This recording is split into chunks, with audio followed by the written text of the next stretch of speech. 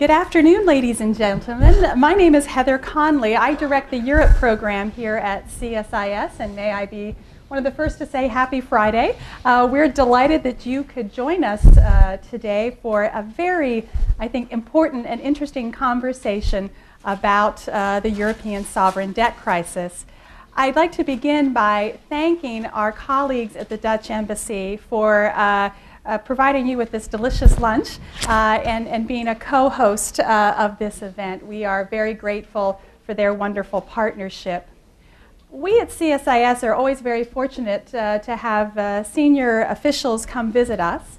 Many times these senior officials, though, uh, hold the American portfolio on NATO security. They're coming to consult with us. So when a very senior uh, official with the European portfolio wants to come to Washington to help us understand what's going on in Europe, uh, I think that speaks to uh, uh, the importance of the issues and the transatlantic nature of this crisis. So when uh, Director General de Groot, uh, we, we were told he was coming, we quickly said, this is a wonderful opportunity and we want to seize it. And because it's a transatlantic conversation, I can think of no one better to be the partner uh, than Ambassador Robert Kimmitt, uh, former, chair, uh, former Deputy Secretary of the Treasury, former U.S. Ambassador to Germany, although he does have a current day job as the chairman of the Deloitte Center for Cross-Border Investment.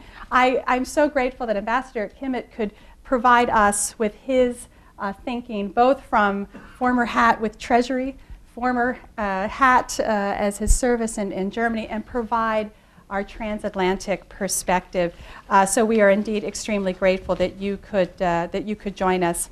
I'd like to remind everybody that we are on the record, uh, so uh, we will keep that in mind as we ask our, our questions. what we've agreed to do is Director General de Groot will begin with some opening remarks. We'll ask Ambassador Kimmitt to provide his comments and remarks, and we'll do a little conversation up here, but then open it up to your, uh, your questions as well. So let me be begin by welcoming uh, Director General Robert de Groot, uh, Director General for European Cooperation. Uh, he was also, prior to this position, a deputy, uh, a director in the political department, and he has had a little security policy, so uh, we know we can talk a little NATO too as we extend our conversation, and a, an extremely distinguished career in the Dutch Foreign Ministry. So again, welcome and help us understand uh, the European sovereign debt crisis. Welcome, and we'll have you switch on your mic, and I'm going to switch off okay. my mic. Well, thank you very much. It's an honor to be here with all of you. I, I thought I'd start off with, uh, with uh, stating something which Robert Cooper, one of the senior diplomats in Brussels, uh, wrote down a couple of years ago, and it goes like this. He said, if you live in another continent, you probably muse about romantic Europe. And if you're a neighboring country to the Union, you probably want to join it. You can only belong to Europe to really hate it. Now, that was uh, a couple of years back. Today, I would state this last sentence differently and say, today, this might be reversed in the sense that only those still belonging to European Union actually love it. But that's a change. Uh, maybe allow me to make a, a couple of points on uh, uh, the euro, and I'd like to make four. And the first one is uh, what about the future of the euro? Is there anything possible in the future uh, without uh, the euro? To my opinion, no question about it, that is not possible. The euro has brought us so much economic growth, so much wealth over the past decade it has made us feel more European and altogether on the continent that unraveling it is totally unavoidable, both economically and uh, politically. And it's also very valuable to foreign investors, like from this country, where the Netherlands is the largest recipient of your foreign direct investment. I think also for others outside Europe, having one uh, currency with these 500 million consumers, I think is worthwhile. The second point, uh, which is always under discussion, is the word firewall. Is there a firewall Uh, to help countries in case of need? And We helped, help, helped countries like Ireland, like Portugal, and like Greece, but there might be others. And is there enough money around to help these countries? Well, I think that is the case. First of all, there is a temporary mechanism in place with 500 billion euros. We've only used half for Portugal, Ireland, and Greece, including the package which has now been agreed on Greece. So only half of that is used. From this summer onwards, we'll have a permanent structure, the ESM, European uh, Stability Mechanism, which also holds 500 billion euros. So that's quite a big number already. And the third point is last year, the European Central Bank put in 500 billion euros into the European banking system. And it's going to do so again this month or next month. So when you add all this up, you're over one and a half trillion uh, euros, uh, which I think is sufficiently uh, to take care of anything in case of need. And if there's a, a need at one point in the future, I think most parliaments in the euro area countries could move swiftly to bring in more money, which I think is not necessary at all. The third point I'd like to make is about tightening discipline. We can never have problems like we've had in some of these countries again. We cannot afford that. We can have no more statistics which do not truly reflect the situation of a country. We can have no more undisciplined governments with their national budget and their debt to GDP ratio. So what we've done since summer of 2011 is really strengthen the position of the Treasury Commissioner in Brussels. In fact, he's almost a EU finance minister uh, today. He's called a commissioner, but the powers he has today in comparison to six, seven months ago are enormous. He can name and shame governments and parliaments which are not doing their job right on the natural, national budget. He can sanction countries which repeatedly do not comply with the Stability and Growth Pact, which holds all the rules and regulations. When there are macroeconomic imbalances in a country, a country spending too much on one issue and too little on another, they can publicize it and name again, name and shame, and the Council of Ministers of the European Union, I'm not going to become too technical, uh, needs a very large majority uh, to be able to block the decision by this commissioner to advise a country and to urge a country to really change its budget, its, its budget and its uh, policy. So that's the third side. Budget discipline is now in place We've had new governments in Ireland, in Portugal, in Italy, in Spain. We'll have a new one in Greece uh, this spring. And they're all getting their act together. I think it is extremely uh, well done what Mr. Monti, the Italian Prime Minister, has been managing to do with his parliament over the past couple of months. We have a new government in Spain which is taking all the measures they need to take. But we still have these debts we have to repay, and there's nothing possible without regenerating growth on the European continent. We need to change, we need to adapt to globalization, we need to be competitive, we need to invest in research and development, we need to invest in education, we need to save money on 32 hour working weeks, which we cannot afford anymore. Uh, we need to save money on pension age and not be pensioned anymore at 60, but move to 65 or 67. We need to get out of the social benefit system in a way. We need to get out of subsidies for industry and other uh, uh, parts of uh, the economy and really change to regenerating growth by investing public money into innovative sectors. So this is all going to be very tough. It's going to be tough on the Netherlands. It's going to be tough on other countries too. But we see no other option. If you want to keep up with the pace of globalization, you will have to structurally change your economies. It's going to be painful in the short time, but it's the only way out of this crisis in the long term. I'll leave it at that for first comments. Wonderful. Ambassador um, let me thank CSIS, Heather Conley, and our European team for putting this event together. Uh, it's a pleasure to share the stage with the Director General. Uh, I was particularly pleased with the attendance for a Friday, and, and, uh, and also very nice we have as many students in the audience. One of the great benefits of uh, going to school here uh, in Washington, as I did for law school. Um, 20 years ago, I was ambassador in Bonn uh, Don Bandler was the political minister counselor at the time, later deputy chief of mission.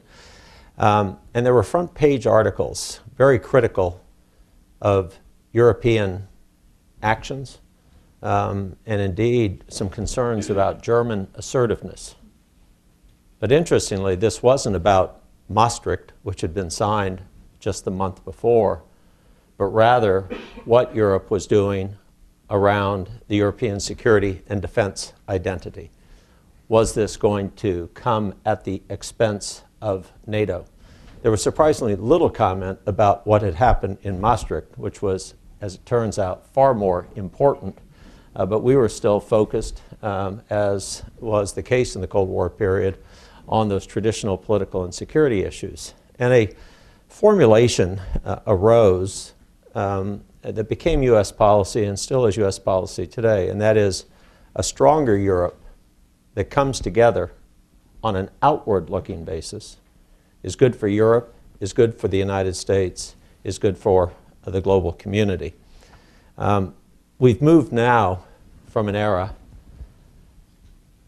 where during the Cold War, nuclear throw weights were a measure of both strength and concern to today when sovereign interest rates are that same measure of strength and concern. But I think that same paradigm, and that is that a stronger Europe that comes together on an outward looking basis serves not only Europe's interest, but transatlantic and global interest, is still the case. So the relationship is broadened to include more economic and financial considerations, along with those continuing important political and security considerations but I think it is really important for all of us to understand now how much attention we have to pay to what's going on inside the European Union, especially now on economic and financial matters. And that's why the Director General's comments, I think, were, were so important for us to hear. Um, both the United States and Europe are on the same path right now. We're trying to lay a firm fiscal foundation upon which policies for growth and opportunity and job creation and competitive economies uh, will be uh, created. Uh, in Europe's case, um, I think, uh, Mr. Director General, that it was really moving tactically from about June of 2010 until November of 2011. I think actually at the summit in November of 2011, Europe took its major strategic step. And I think the evidence of that is twofold. Number one, the British, who had attended all those previous summits and had just gone along with the summit declarations, took an exception, their first major exception since Maastricht 20 years before. So something serious had happened. But secondly, I think that that did send a signal to the European Central Bank that it could start taking steps on the monetary side, which, as you said, were so important to put liquidity uh, into uh, the marketplace in December and especially January, a month of significant refunding in European sovereign debt um, instruments. I think, um, too, I would say on the firewall, I think there's been a lot of focus on the fiscal aspect of the firewall but I think there's also a monetary aspect to the firewall. My basic rule of thumb is if the problem is in the hundreds of billions of dollars, governments can handle that through fiscal instruments. If the problems are in the trillions, that's when central banks have to step in. And I think right now the coordination between government authorities and the central bank uh, authorities um, is what is giving people more hope for Europe coming through this difficult period uh, in an even stronger uh, position. Um, my conclusion is that I think there's more to be done, uh, but I think Europe is on the right path. I think Germany has made the decision uh, that it is willing to pay the price to keep the Eurozone together and the Euro afloat. Germany is now in the 67th year of peace, longest period of peace in over 800 years. No one has benefited more from the introduction of the Euro than Germany's export driven economy. So it's very important that that major economy is committed to this project. And I think we're to the point now that a good strategic line has been laid out. And the real question now is execution risk. And that's both a political question, but a political question that's going to be judged in the marketplace, which is a nice combination, it seems to me, that people will be judged on political uh, terms in elections in France this year, Germany next year. Um, Greece, you mentioned, is coming up, Italy uh, again next year. Uh, but also the financial marketplace, assuming it doesn't go back to some bad old ways, will provide some of that context, framework, and discipline uh, that uh, is needed. Maybe I'll stop there um, so that we can get into a dialogue, but I would say that one major positive development, I think, certainly since last November and continuing into this year, is that there's been a lot less finger pointing between Europe and the United States. This isn't a time that people need to point fingers and give lectures. Each of us has a lot to do in our own geographies, in our own economies. We need to get our own houses in order and then continue the dialogue, I would say enhance the dialogue on how we can benefit each other in that effort, uh, both for our individual and transatlantic benefit, but also, as Director General said, to play the important role that we need to continue to play in a globalizing world economy. Wonderful. Well, thank you very much to both of you. Wonderful opening comments. Uh, I've been jotting down my questions. Uh, I, would like to, to, direct two different questions to you both. And Director General de um, Ambassador Kimmitt spoke of the execution risk, and it seems to me that democracy just keeps getting in the way of, of resolving uh, the crisis. And uh, obviously, the French elections, uh, the Greek elections, uh, the, the, how, how, long it took Greek political leaders to even come to the point where they were ready to provide their, uh, their package of, of austerity measures.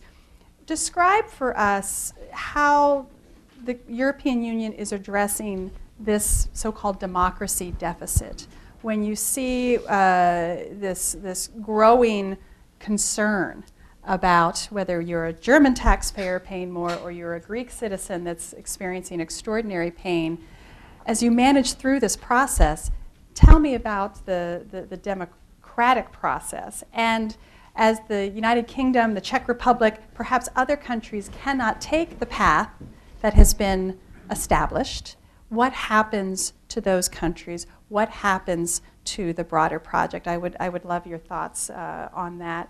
And Ambassador Kimmitt, I, I agree with you. Washington and, and, Europe haven't been finger pointing as vocally as they were, I think, at the end of last year when things looked quite daunting. Uh, I, I, think, and the crisis was reaching a, a real, uh, a real high point. But they certainly aren't turning towards each other for solutions. When Chancellor Merkel's in Beijing, uh, looking for the Chinese to provide relief. Washington is saying, no way are we going to contribute to an IMF uh, line of credit. Europe can take care of this. Are we not turning away from one another through this crisis? Uh, not looking at trade and investment opportunities and a US EU free trade agreement. Let's take down uh, barriers to our services. Let's create transatlantic jobs. Are we not uh, looking towards each other in this crisis? So with those two easy softball questions, Director General de I'll start with you. Heather, thank you very much. I, I, think it's a, it's a good point about the democratic legitimacy. Uh, on the other hand, uh, before we go to each of these European councils, which usually last until five in the morning these days for some reason or another, uh, I think every prime minister goes to his individual parliament and spends an hour or two hours, or in our case, eight hours, uh, to get his mandate to go to Brussels and into this meeting. I think that functions reasonably well. I have no. There are sometimes you. Uh, we have seen that with this treaty, which was agreed last year, where finally at 4:30 in the morning, the Czech Prime Minister said, "Well, I'm sorry, I don't have a mandate to go this far, so please uh, leave me out for the moment. Maybe I'll come back next time." So I think that type of democracy works quite well.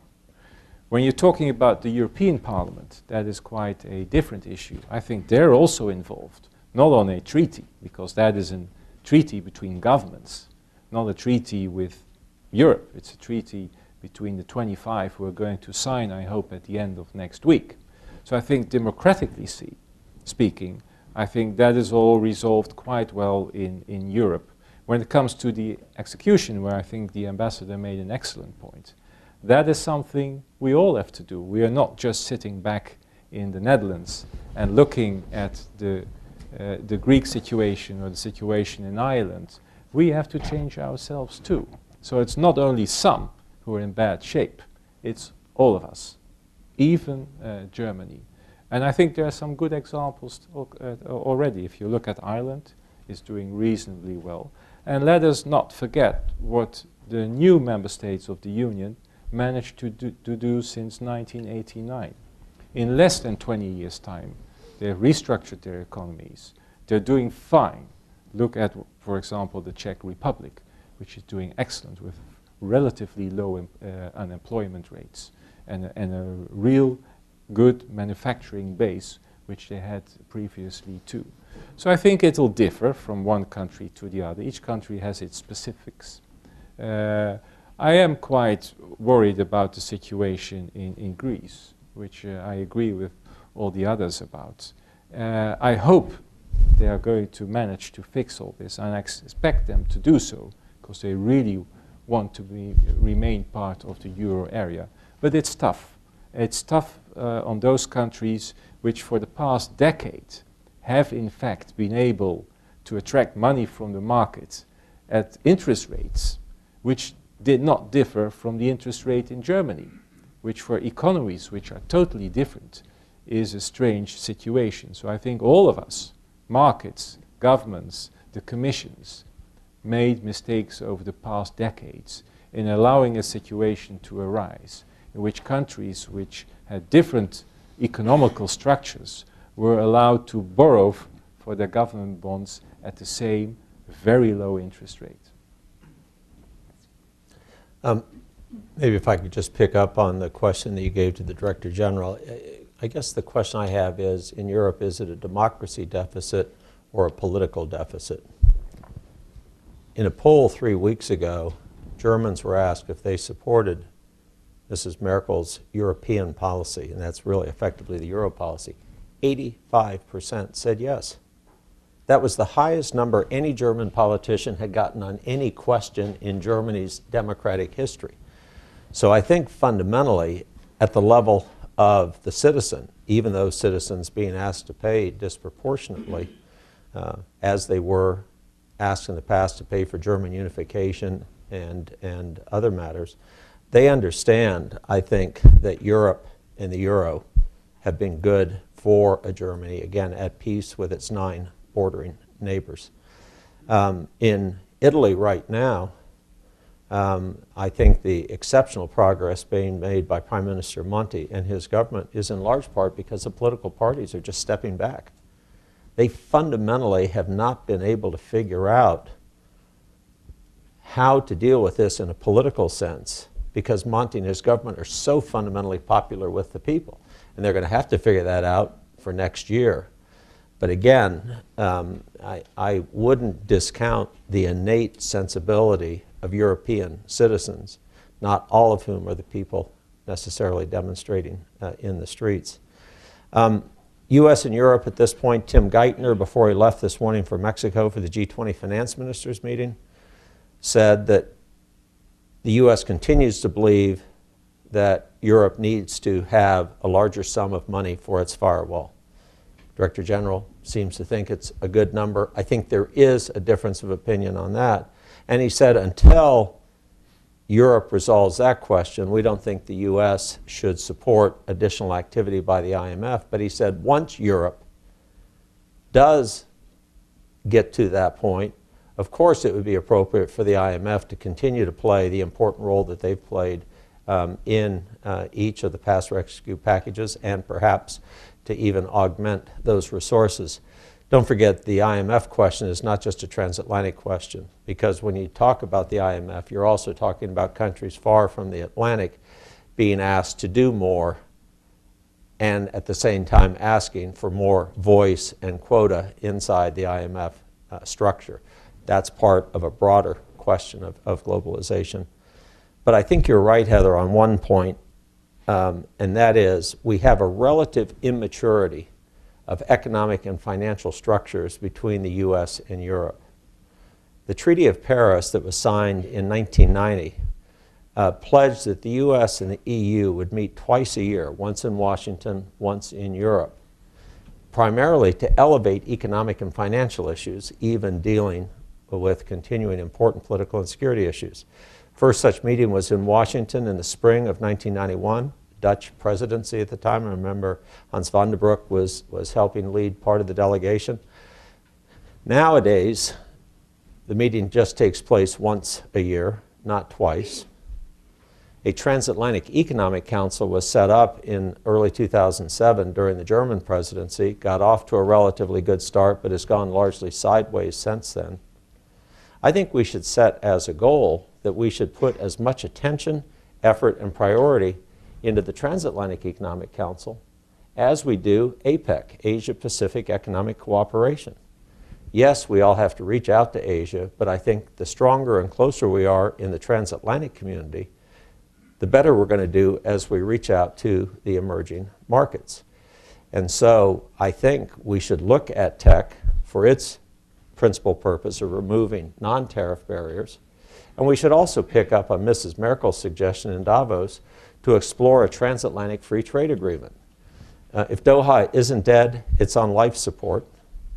And actually, Europe and the US getting serious about their own bilateral trade agreement, as is happening in the Pacific with the Trans Pacific Partnership under APEC, might be a way to send a signal to the emerging markets that if they really want a global deal like Doha, they need to put some effort into it or major economies, including the two major economies, Europe and the United States, are going to move out separate from Doha. Those are, are fantastic points. I have one question for you both, and I promise I'm going to bring you into this conversation. Uh, I, I, understandably, one of the reasons you were coming to Washington is because Washington's been fairly skeptical about how Europe is going to come through this crisis. As we look at OECD numbers, recent IMF figures, we see Europe some countries, you know, obviously Greece entering its fifth year of recession, uh, Spain teetering on the brink of recession. Uh, considering the amount of fiscal consolidation that has to occur, the, the fragility of the European banking system that has to jump to 9% of uh, core uh, tier one capital by June. We don't see the growth yet. Uh, in fact, we see the contraction. How will Europe get through this and what will it look like when it comes out of it? Sort of part one. And then the second part Europe had a stability and growth pact. At Maastricht, very clear. Here's your, your, your, your lines, the sanctions, what have you. Convince me that the fiscal compact, how will be different when we're already talking about exceptions to Spanish deficits? We're already talking about exceptions, maybe that's wise, because countries are struggling help me understand how, in the short to medium term, Europe gets through this phase. All right, to, to start off with the last part, because that's the easiest. Uh, the Stability and Growth Pact was a wonderful pact uh, where countries said, okay, we are going to comply with a 60% debt to GDP ratio, with budget deficits close to balance, but at a maximum minus 3. And that was all the pact said. So the pact didn't say, if not, then this and this would happen. And that is what we have now really changed. So governments have far less room uh, for maneuvering on their national budget. Ceilings uh, will be uh, they will have to show their budget to Brussels in advance. They must allow Brussels to comment on their national budgets. And then they will be advised by Brussels to change.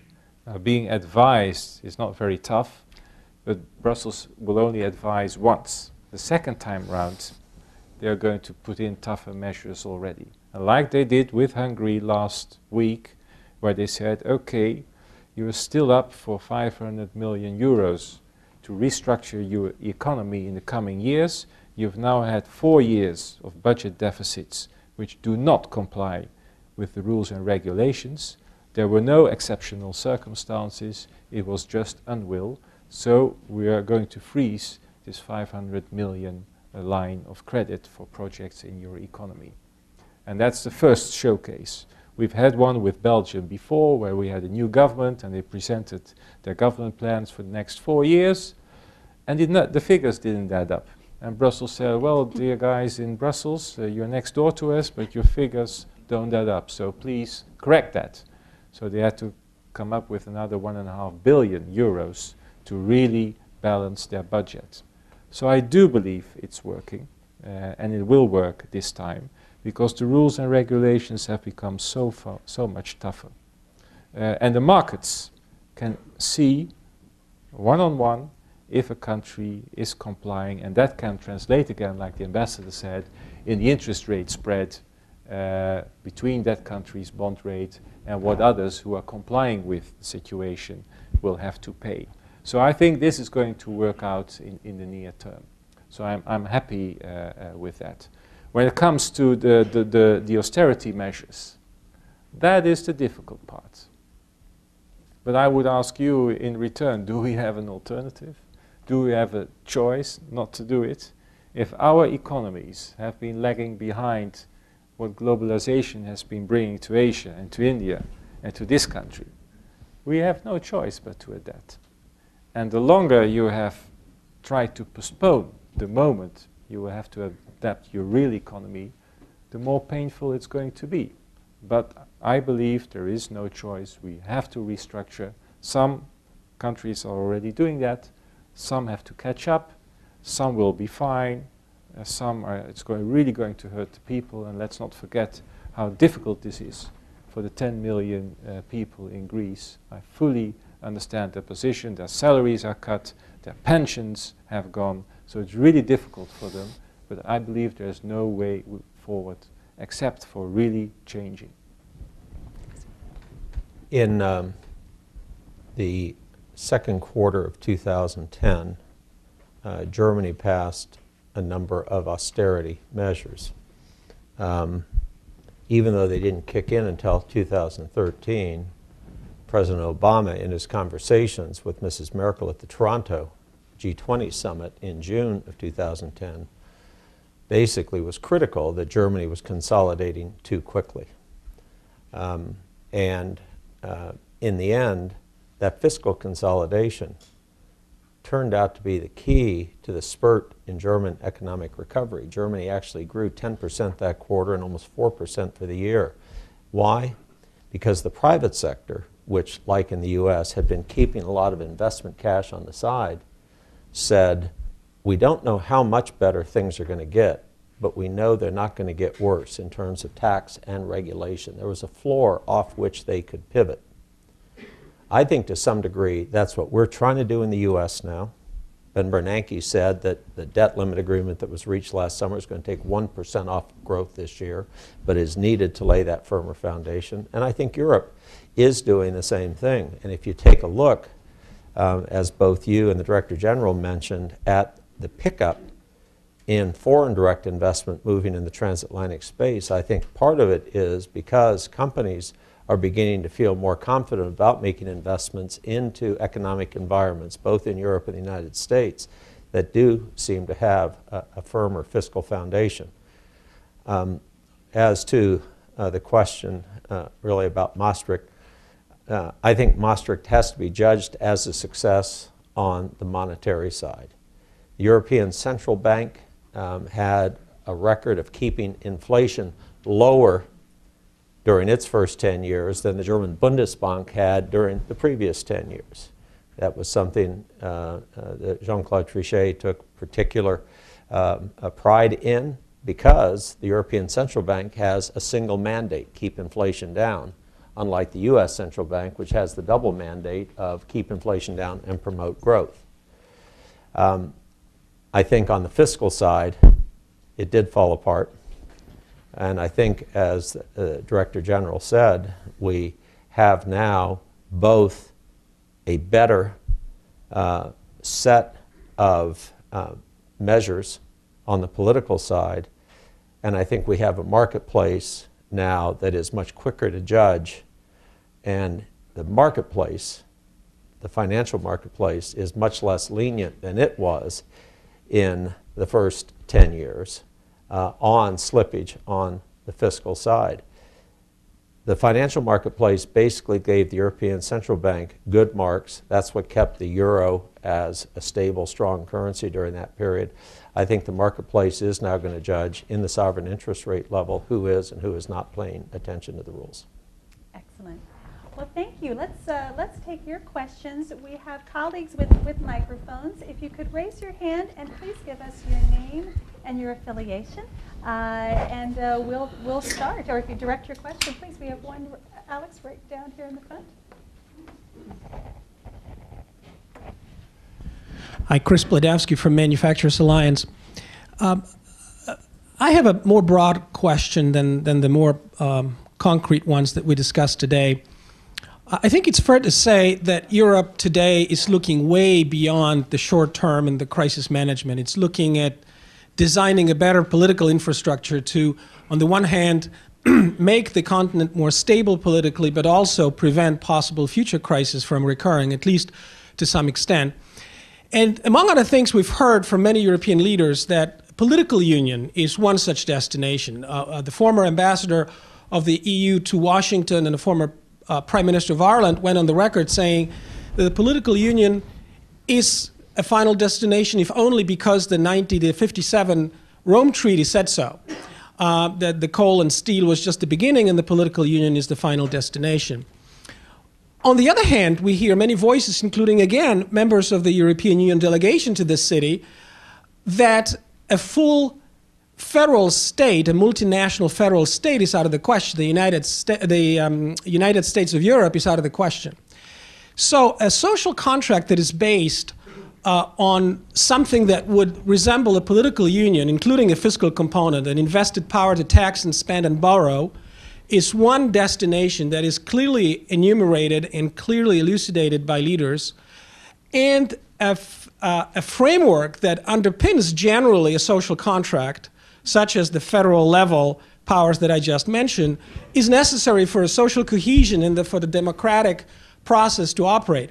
So I see a no man's land between these two and something that is not being discussed. How do we get to the political union, stop short of building, building the, the state infrastructure, and maintain the democratic principles that we all talked about today? That's an easy one. Well, it's this is uh, um, there's this very uh, strange. Uh, I think uh, I think it's an Australian animal, uh, the platypus, uh, which lays eggs and has a furry coat and looks like a mammal. And the EU in itself is a very peculiar organization too. So let's not judge it by comparing it to other international uh, entities, but looking at the way it has evolved over the past 50 years. And I fully agree with you, it was already decided in 57 where we would like to head, but no one ever decided in what time frame.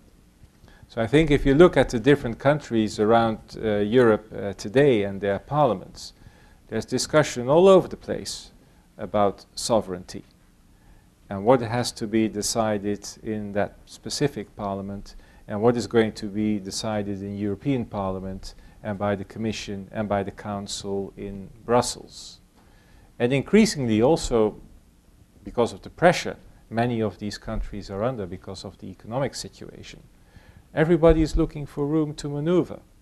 So nobody, everybody's happy with having to give your statistics to Brussels on your unemployment and on your private savings, etc. But I don't think we're all very happy with Brussels going to decide what to spend our national budget on. So there's going to be a discussion which is going to continue in the coming years, in which Brussels might set limits to your national budget. But every individual government and every individual parliament will want to decide how they're going to spend that money. And that could be when on the labor market situation, which differs from one country to the other. That's not equal all over Europe. We can move around freely, uh, but the specifics of labor markets are still very different. And I think each of the 27 or each of the 17 in the euro area is still wanting to keep that to itself, especially the social side, the pensions, and things like that.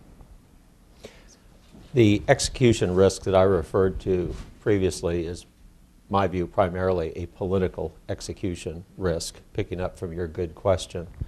Um, and it seems to me that there has to be sufficient political union to live up to, that is, execute the commitments that are now being made, starting last November and continuing through what hopefully will be an agreement on the ESM very shortly.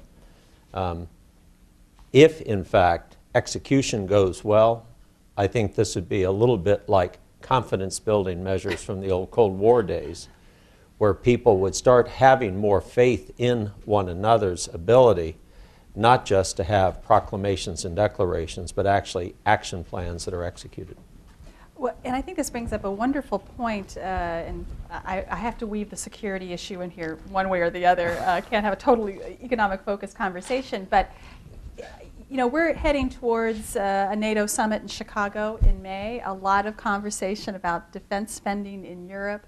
Um, how national budgets uh, are used and how Europe prioritizes its defense spending. Ironically, Greece spends 5%, approximately 5% of its GDP on defense spending. That is obviously going to be uh, changed uh, uh, in coming years. How can we maintain uh, in this age of austerity and consolidation when Brussels is looking at all numbers and uh, and those defense budgets are very easy to, you know, that's not as important as the pensions and Social Security how do governments maintain their commitment to the transatlantic security dimension? And as we come to the NATO summit, uh, and we have Secretary Gates's farewell speech ringing in our ears that Congress is no longer going to support a, you know, so much of a U.S. emphasis on NATO. I, am going to bring you back to your old hat and your old uh, job in the Security Policy Department. How do we square that uh, on defense spending and security in Europe? Well, it's absolutely true, Heather, about uh, how much Greece used to spend on, on defense. But I, I, wonder how much of that was used to be able to be uh, deployed to Afghanistan or Iraq. I think most of it was actually spent uh, to be used in their navy, uh, close by with their neighbors and on their border. So maybe we should not only concentrate on figures as percentages of GDP, but look what we are investing in when it comes to the military. And we need to agree on what we should invest in. I think my country has been in the south of Afghanistan for four years with quite a significant number of people. Uh, it cost us a fortune, but we had the military capabilities uh, to work side by side with the great US military in the south of Afghanistan. So rather than looking at the percentage, we should look much more at what we are going to invest in. And besides that, up to now, especially in Europe, each country is deciding by itself what to invest in. So maybe four countries have decided to buy a C-17 and nobody bought the F-35 or is going to buy the F-35. So I think sharing and pooling the resources and seeing what we jointly will invest in, I think is the way forward, instead of just looking as, at the percentage as a figure. Um, it's obviously not just a question for Europe, it's a question for the United States. Um, if you take a look at the significant proposals that have been put out by Defense Secretary Panetta. Part of it is his attempt to get ahead of what would be automatic cuts on the second half of the debt limit agreement from last year. Um, and all of this is part of, again, putting our fiscal houses in order. Uh, economic strength is part of national strength. Um, I don't think you can be uh, strong abroad unless you have a strong, effective base at home. That's true both for Europe and the United States. I was struck at the Munich Security Conference this year that there was as much discussion of economic and financial issues as they touched upon security as I've ever seen in the past. Um, and also, um, I listened very carefully to both what Defense Secretary Panetta, uh, German Defense Minister de Maizière, and others said. And I think it really did come to the Director General's point, and that is around this general rubric of smart defense we've got to find a way to use what will still be significant resources in the transatlantic space, but we have to get rid of the inefficiencies, the duplications that uh, perhaps inattention to fiscal reality allowed us in the past. I think it has to start with a strategic concept. I think that's really what NATO has to be very, very clear about. And then you have to size and structure yourself uh, against that concept. I don't think NATO can be all things to all people. It has to be clear as to its central role. Um, and then we have to find the ways, both as national governments, but particularly as allies, uh, to meet those requirements. And fundamentally, the message that Secretary Panetta left was yes, we are going to be reducing the number of forces uh, in Europe. Yes, we are making moves in the Pacific not as strong a pivot as perhaps is seen by the Europeans, but we are going to retain the capability to live up to our alliance responsibilities, and we'll look to our partners to do the same. Yes, sir, right here.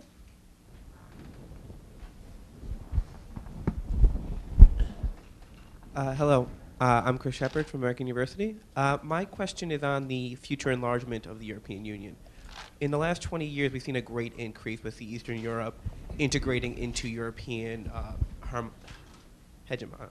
Um, and my main question is we have several other states, Turkey, Iceland, Croatia, who are trying to enter. Do you feel like this economic crisis may stunt the growth of the European Union in the short term or mid-term future? The enlargement agenda, so critical. And next week's uh, council meeting may uh, have some news on beginning accession talks with Serbia.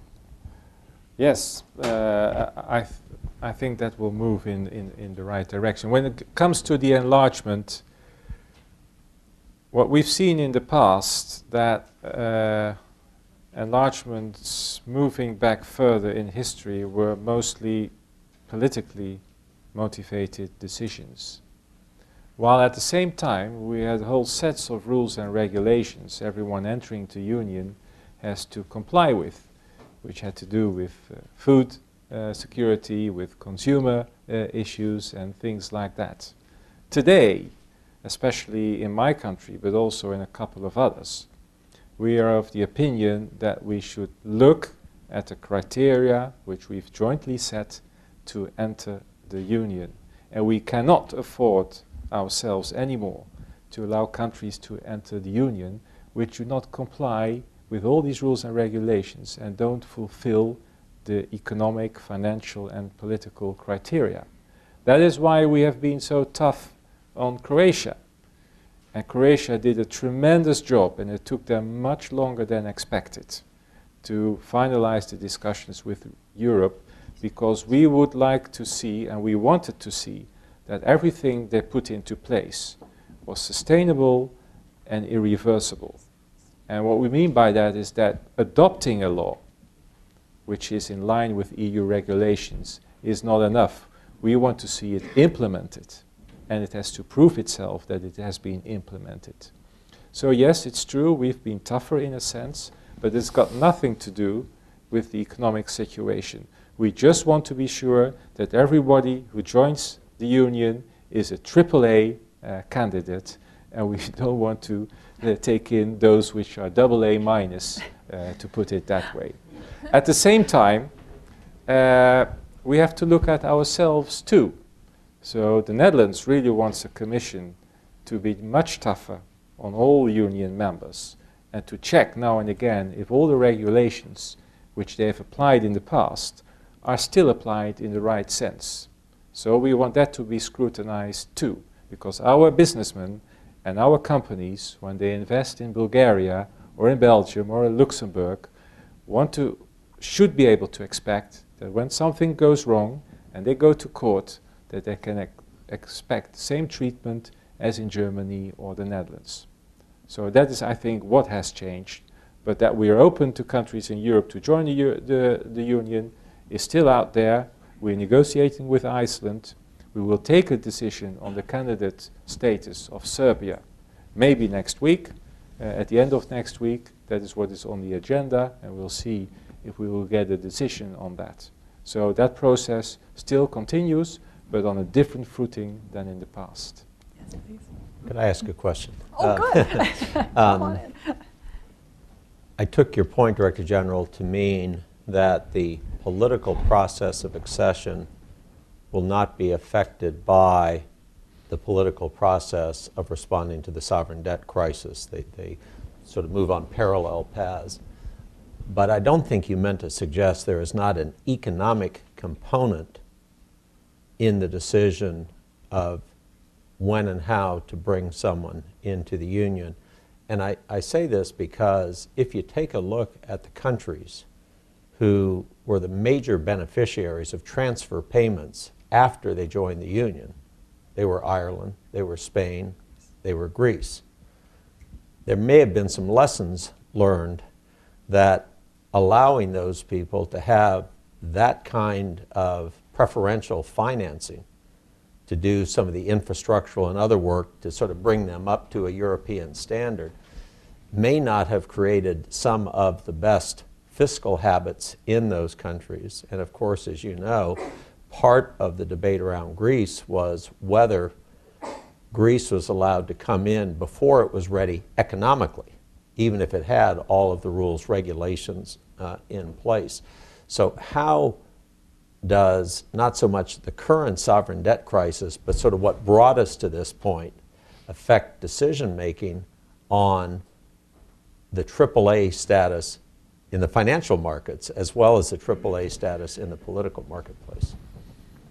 If you see uh, at the countries we are now negotiating with, which is mainly Iceland, and we have done so with uh, uh, Croatia, Turkey is a real long-term issue, which is not moving very fast. They have been uh, relatively small economies, so there is no challenge out there of negotiating accession with a really large economy. Secondly, when it comes to the the multi-annual financial framework of the European Union. We have always been of the opinion that if there's money to flow, it should flow to the poorest regions of the poorest countries and should, it shouldn't flow to Germany, which can afford itself to invest in infrastructure and other. But there are uh, poorer areas in the poorest countries which, out of solidarity, should be able to get money uh, uh, from the other partners to revive their infrastructure and create a basis for economic development which moves slowly, be it uh, to the European Union average. So I'm not very worried that in the case of future accession, uh, that this economic uh, argument is really going to play uh, into the discussion. Because after entrance, even for Croatia, they will have to create an economy which can come along with the EU average. They'll have to decide themselves how to structure their economy, and they are doing so already. The good point, I think, Ambassador, you made is that with all these tighter rules and regulations on budgetary discipline, the gap between us in the Eurozone and those first entering the Union and then years later are uh, having the ability to join the Euro this gap is increasing. So what we have been suggestion, suggesting together with the Germans is even before accession, allowing these countries to get used to the mechanisms we are now putting in place. So that makes it easier for them to slowly move up to the stringent uh, rules and regulations we have put in place. Is the last point I'd Yeah. make is I've been thinking about the costs to Europe if Greece were to leave the Eurozone. I don't think Europe is going to expel Greece from the Eurozone. If Greece were to make its own decision, um, it's a very complicated process, um, and I, I know you've thought this through. But although they would leave the Eurozone, they would still be part of the European Union.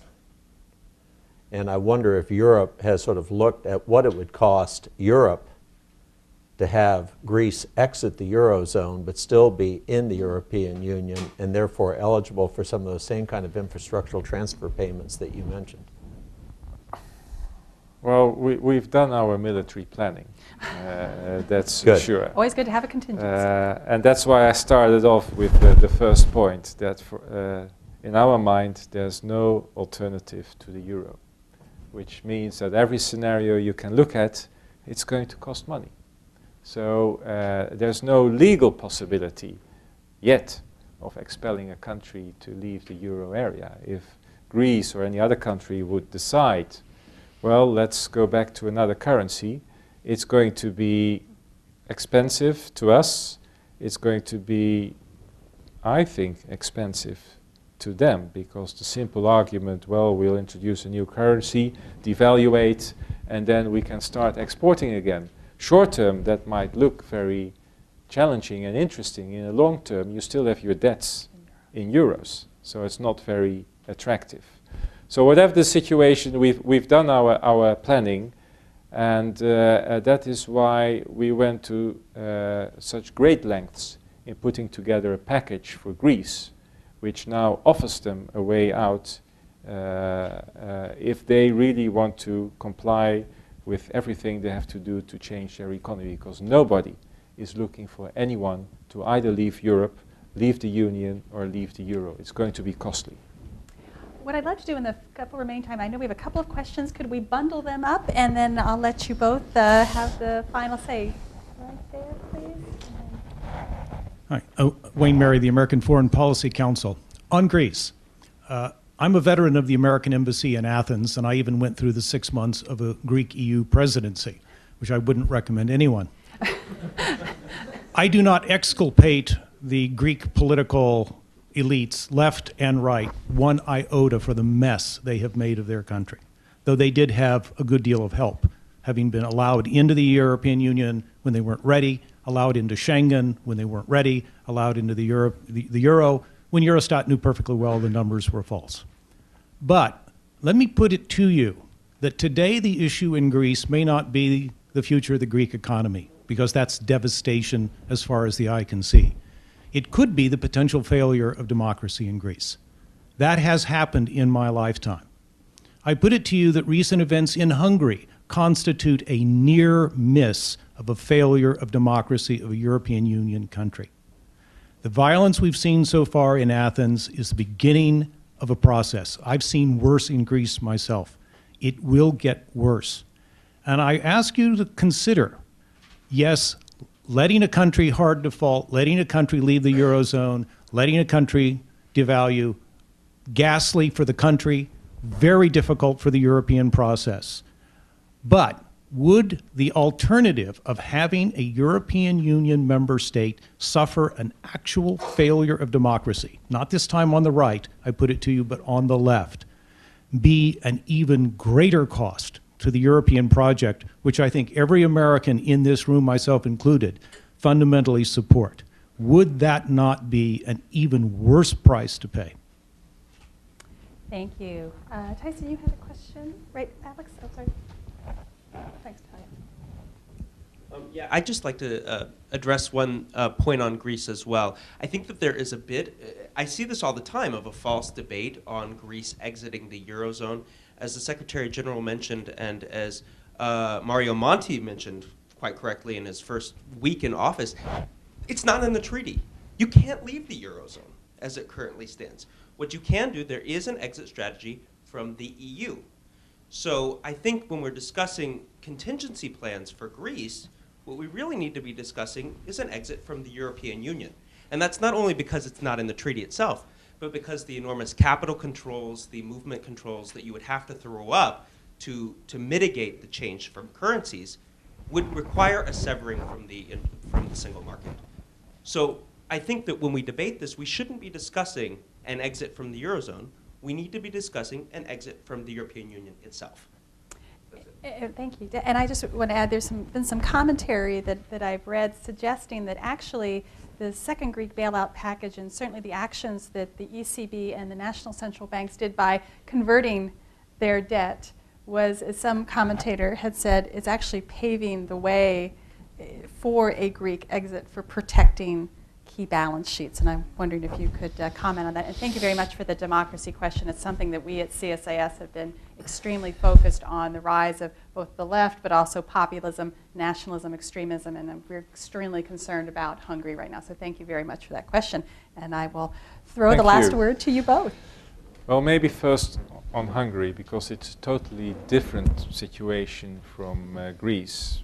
Uh, in Hungary, what did work is that we have a mechanism where it's the Commission which has to look after the treaties of the European Union uh, and make sure that they are implemented. And that is what exactly happened.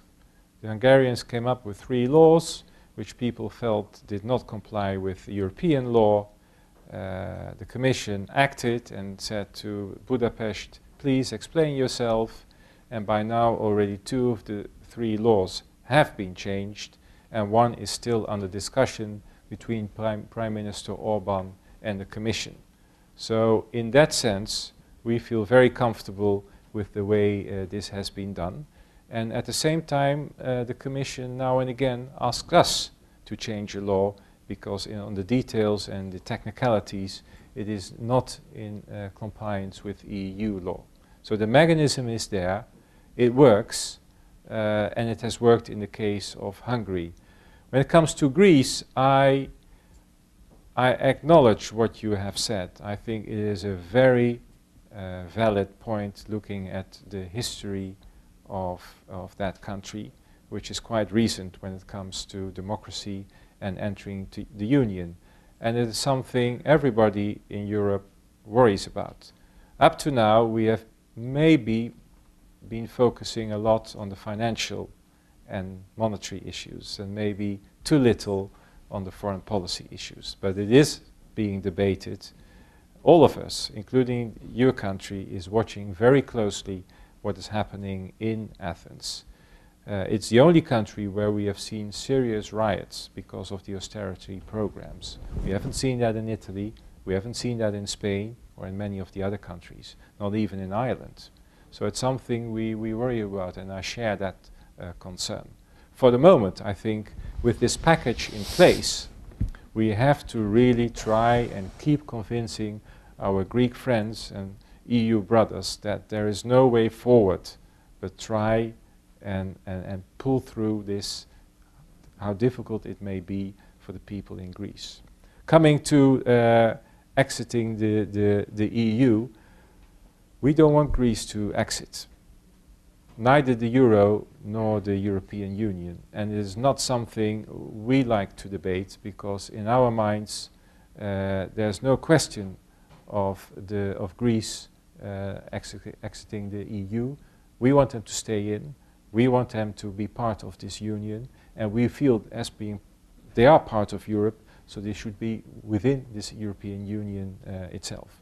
This ex exit of the EU was created at the last uh, treaty change uh, for some reason or the other. So it's there in the article, I forgot the number 50 or something. Let's leave it there and let's not use it. Ambassador Kimmitt. Um, I think going to your very last question, Heather, um, both the political marketplace and the financial marketplace believe now that steps are being taken, both on the Greece rescue package, the Greek deal with the banks, um, that a good faith effort is being made uh, to keep the Eurozone together. Um, I think, as I said before, the real risk there is execution risk, not just at the European level, but also, as Director General said, um, at the national level, starting in Greece. Um, and I would just compliment the Director General both on a good presentation on the strategy, but the most important thing I heard today was that Europe also is thinking through contingencies if, in fact, the political democratic system does not allow execution to take place. Well, thank you. It has been such a privilege to hear both of you provide such great insights and such a thoughtful presentation. Please join me in thanking our wonderful panelists for a great discussion. Well, thank you. Thank you, Heather. Wonderful. And thank you for being with us today, and we look forward to seeing you at future events at CSIS. Have a great weekend. Thank you.